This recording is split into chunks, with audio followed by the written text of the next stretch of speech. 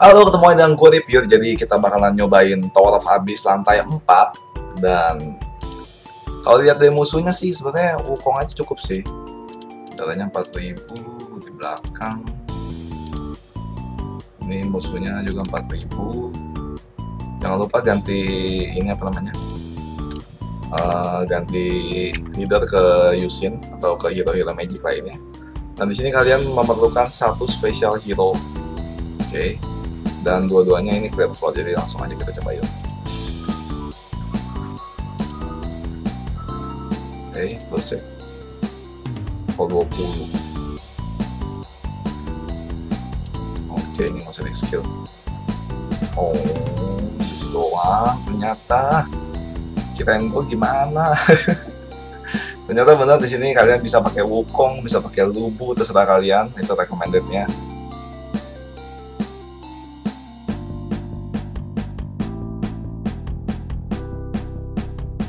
Dan teman-teman habis lantai 4 udah kelihatan jadi kita lihat lantai 5 tuh ada siapa musuhnya. Ada Ahri.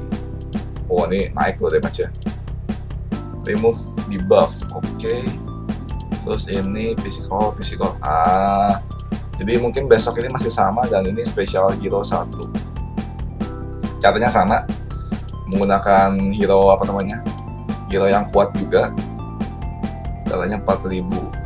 4000 tadi gue mikir kalau misalnya Wukong gue tanpa Ariel tanpa buff crit gue takutnya nggak nyampe sih. Makanya tadi gue pasang Ariel atau Joker itu terserah kalian. Jadi kalian udah mesti apa namanya udah mesti bikin formasi-formasinya. Misalnya kalau misalnya uh, musuhnya itu imun tuh physical jadi kalian udah bikin tim magic kayak tim red sih jatuhnya. Jadi kalian udah bikin DPS-nya bikin buff-nya bikin nambahin magicnya terus ngurangin apa namanya kayak Rudy atau pakai Evan itu kalian udah mesti coba-coba bikin lancang dan ya cukup sekian untuk video kali ini. Thank you udah nonton. Sampai bertemu lagi dengan gua review di video-video selanjutnya. Bye